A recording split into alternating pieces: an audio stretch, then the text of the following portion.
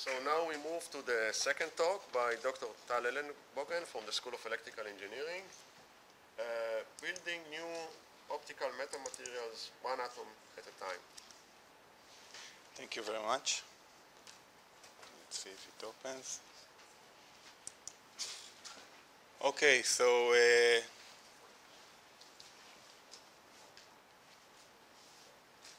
can I use it? Okay, so uh, thank you for the pointer. I would like to thank the organizers for uh, inviting me to give this talk. This is a great honor for me.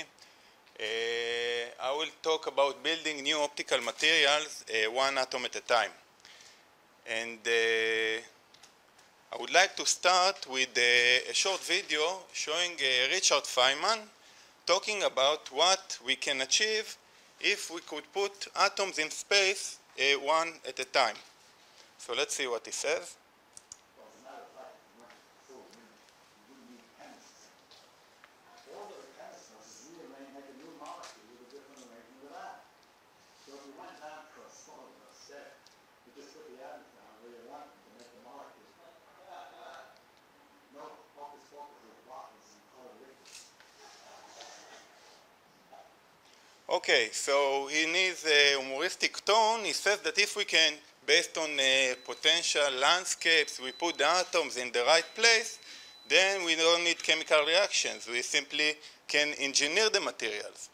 Well, uh, we've seen great talks today, but uh, with the atoms, we are still not quite there.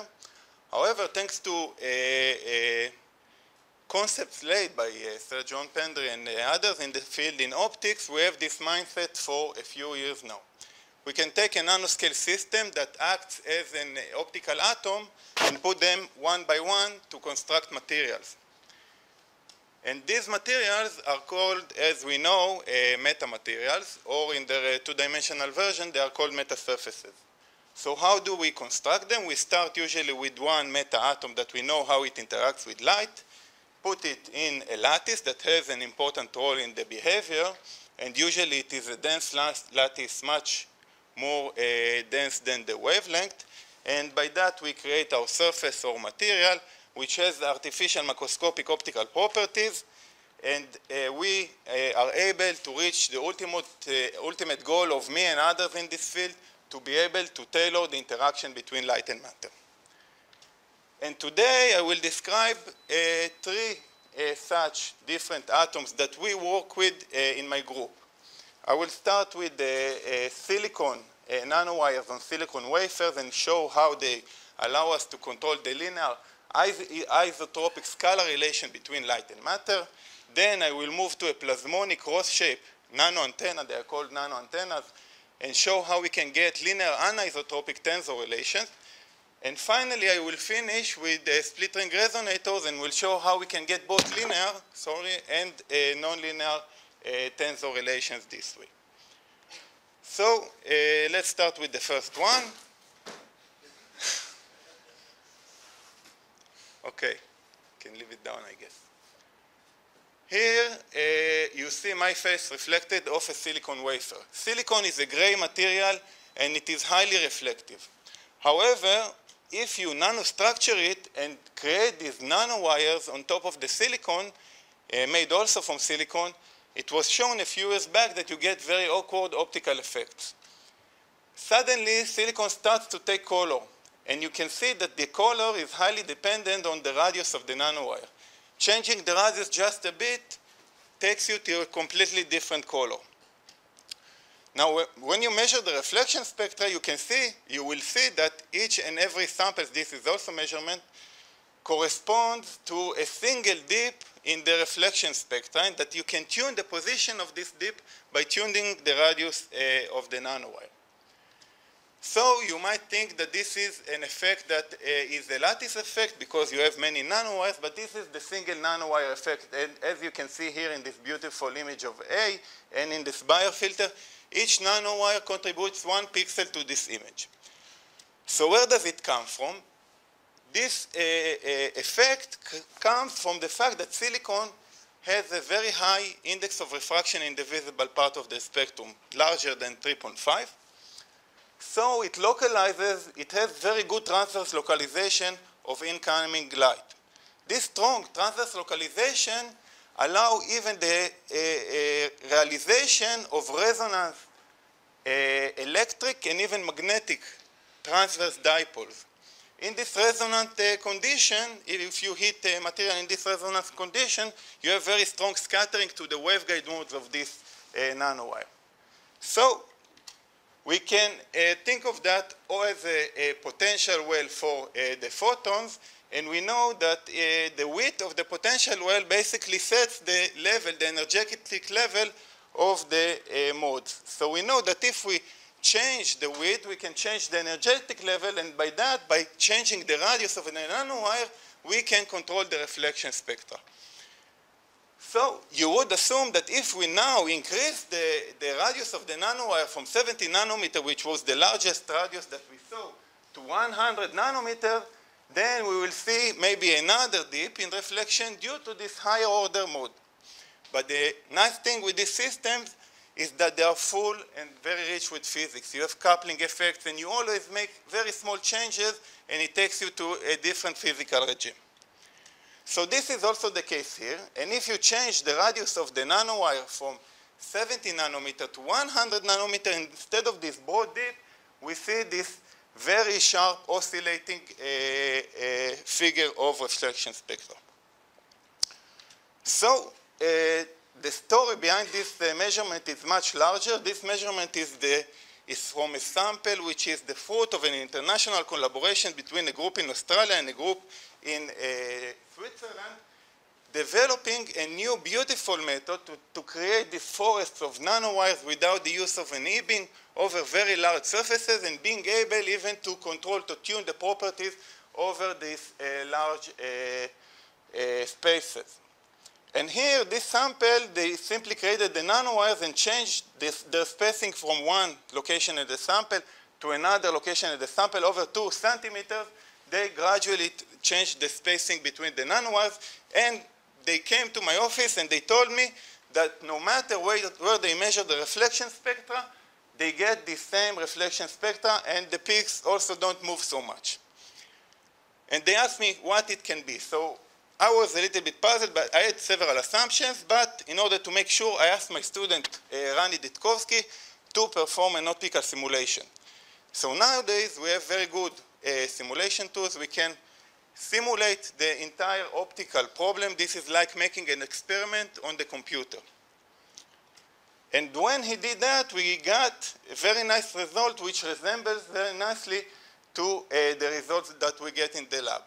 But with the computer experiments, what we can do, we can easily probe the entire parameter space, something which is very hard to do in the lab. So this is what in, exactly what we did, and this, what you see here is the reflection spectra, reflection for wavelength and for nanowire radius. And you see that you have indeed very uh, rich physics going on here. So you can see that these broad resonances uh, named psi1 and psi2, which are actually this transverse localization, resonances due to this transverse localization, but in between you have a region where you have these sharp oscillations.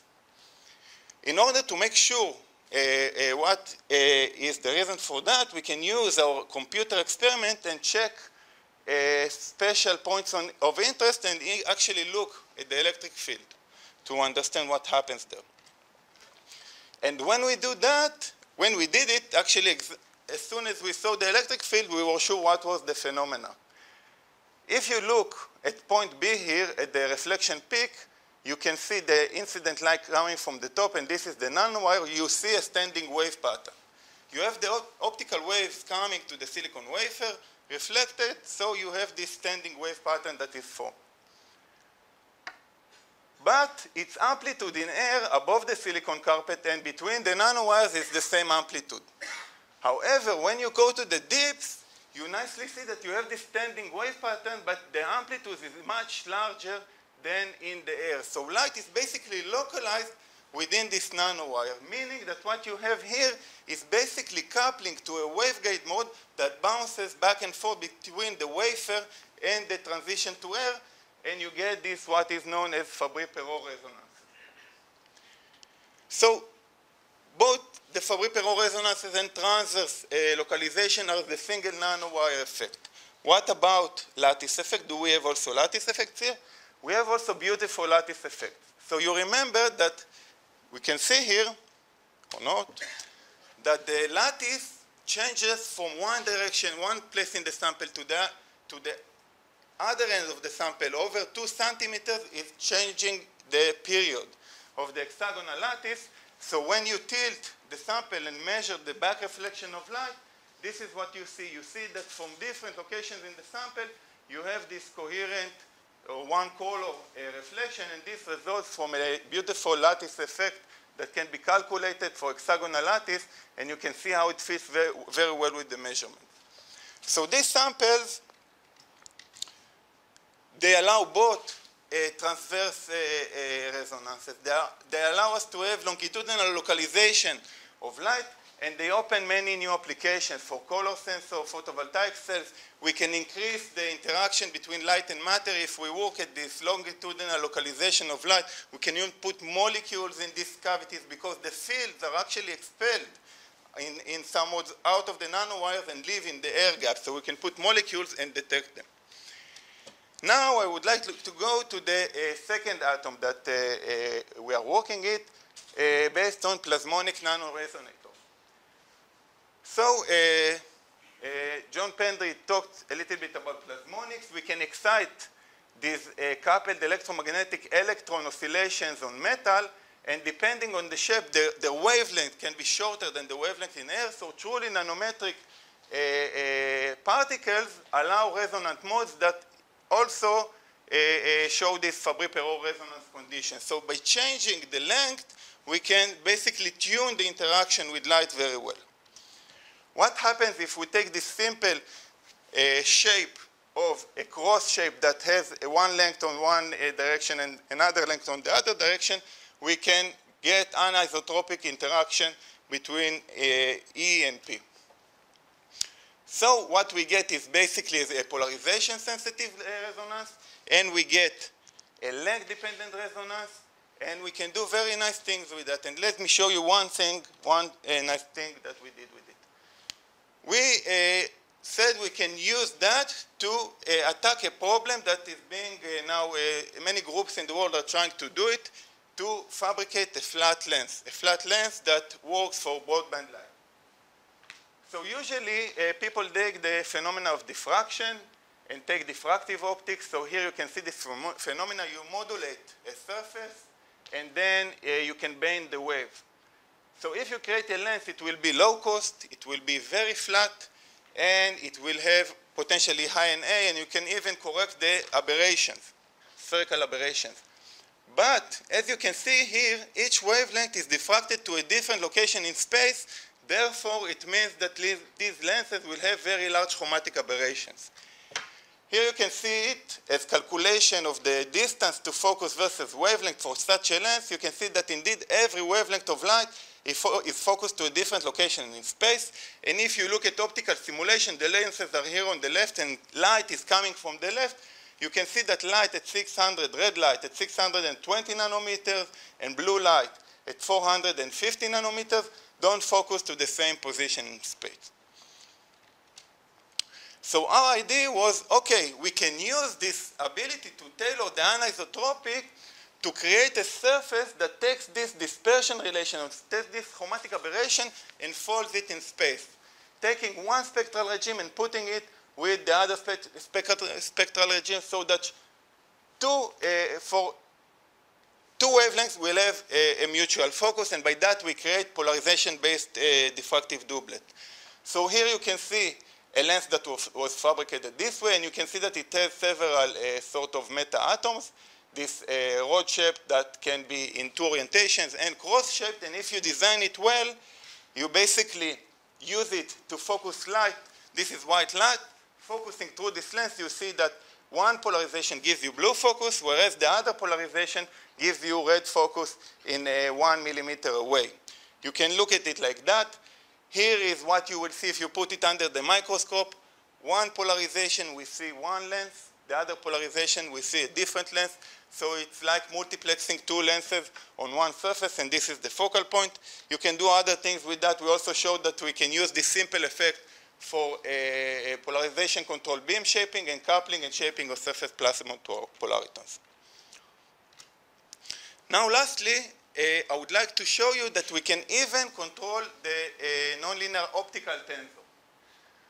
We know that the interaction between light and matter in general is nonlinear. If we use intense laser light, then we will see uh, the higher order terms in this uh, expansion kick in. We will see this effect. For example, the first nonlinear term is the quadratic nonlinear term in charge for the effect of second harmonic generation, for example.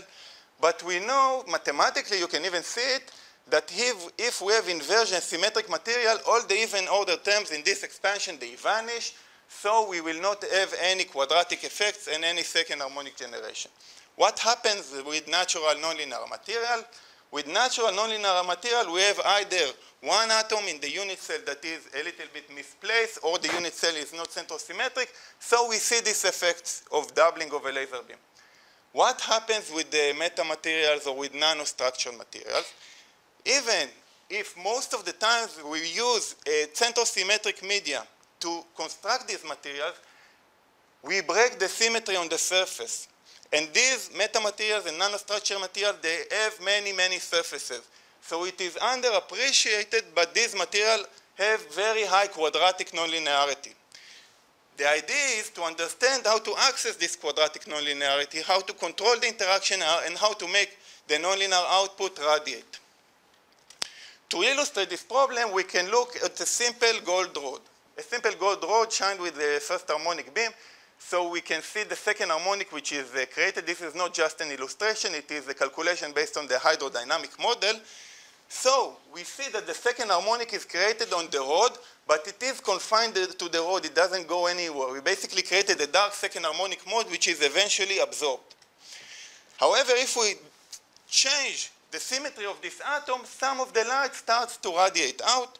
We continue to bend this atom, go to this full, uh, what is called split ring resonators. You see that this emission is very, very efficient This radiation is very efficient, as was shown in experiment in 2006. Why is it so efficient? We can also look at the currents to calculate the currents. So if, so this is also calculation. If the first harmonic currents are simply circulating around the particle, the generated second harmonic current are mainly generated as dipoles along the arms, dipoles along these arms which are in phase, and the fact that we create in-phase dipole means that they emit so efficiently. But by manipulating the shape, making changes to the shape, we can change the nonlinear uh, tensor. For example, inverting this uh, split ring resonator simply means that we locally inverted chi2. And even this simple operation can take us a long way, as we showed in the lab. Basically, we show that we can use it to create what is called nonlinear photonic crystal to obtain a nonlinear diffraction, shine these uh, samples with laser beam and make only the second harmonic diffract. We showed that we can create two-dimensional uh, nonlinear crystal. We showed that we can even use it to create second harmonic beams and scan them in space. And we even showed that we can create a structure that forms second harmonic and acts as a lens that focuses it uh, to a sample location. We even showed that you can, you are free to shape the waveform of the emitted wave, and in this, uh, uh, to, to shape the, the beams that go out, and here we have some advantages over a conventional materials that I will not go into, but this opens a new, basically, territory for nonlinear optics. And with that, I would like to acknowledge my uh, group and to finish and acknowledge my group of students that are working hard in the lab to find all these things and the funding agencies and to make a few concluding uh, remarks. So Sir John Pendry, around the year 2000, you and others laid the fundamental concepts that basically inspired many groups to work in the field of uh, metamaterials. Many groups are working now. In 2020, I don't know what will happen. I just guess that this will, will continue to expand and grow. Regarding yourself, I hope that you will look exactly the same with a minor change. I hope that your glasses will be made out of metamaterial. Thank you very much.